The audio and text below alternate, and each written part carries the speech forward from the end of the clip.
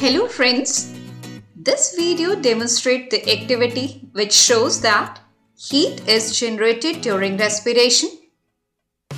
To carry out this activity we need certain items and the items required are bean seeds, two thermos flasks, two thermometers and cotton wool.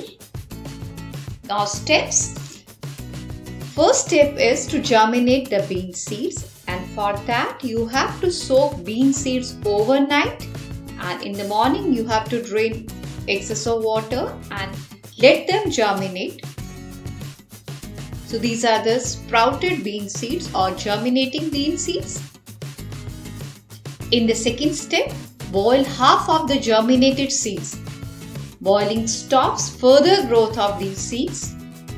Now let the boiled bean seeds cool down Take two thermos flasks and label these as A and B.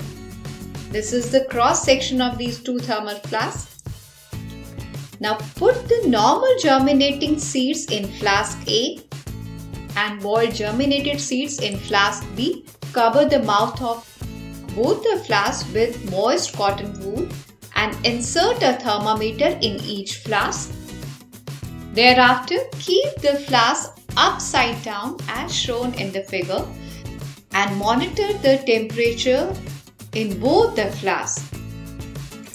And lastly, you have to record the temperature reading of each thermometer kept in each flask daily for at least a week and compare the readings.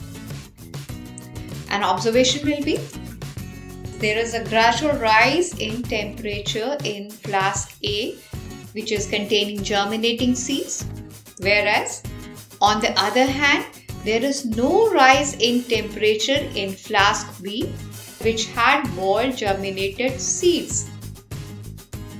So on the basis of these two observations, we can conclude that rise in temperature in flask A which is containing germinating bean seeds proves that these germinating seeds they are doing respiration and heat is released during respiration. Precautions. First keep the cotton wool moist throughout the experiment. Second do not disturb the experimental setup while taking readings. Third note the temperature reading accurately